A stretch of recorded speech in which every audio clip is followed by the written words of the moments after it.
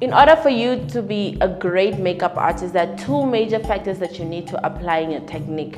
The first one, you need to be able to distinguish between photography makeup, videography makeup, day makeup, and night makeup.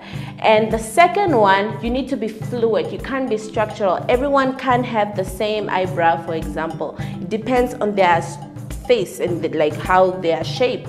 So if you can customize your makeup and have it different on everybody due to what they have, then you're good to go.